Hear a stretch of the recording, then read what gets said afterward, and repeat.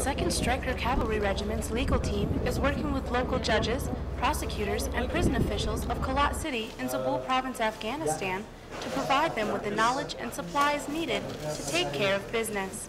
I believe this is the fourth time we've come out today. Um, the first couple of times was to introduce ourselves um, and, and, to uh, let them know that we were here to support them, trying to find out what some of their basic needs were.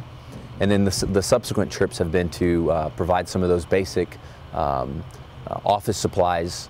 Coalition forces even set up a class taught by Federal Bureau of Investigation agents on different types of evidence that can be collected from improvised explosive devices.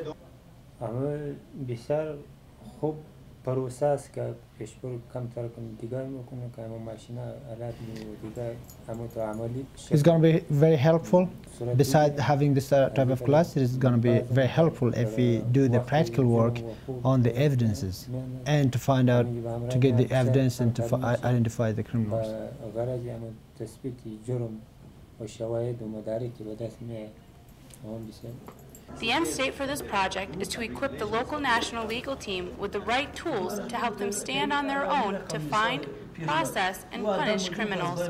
And uh, it's a challenging job, but very rewarding because you can actually see progress in this country, and you see that the rule of law is is being accomplished. That uh, uh, that we're doing the right thing for the citizens and the, the people of Afghanistan.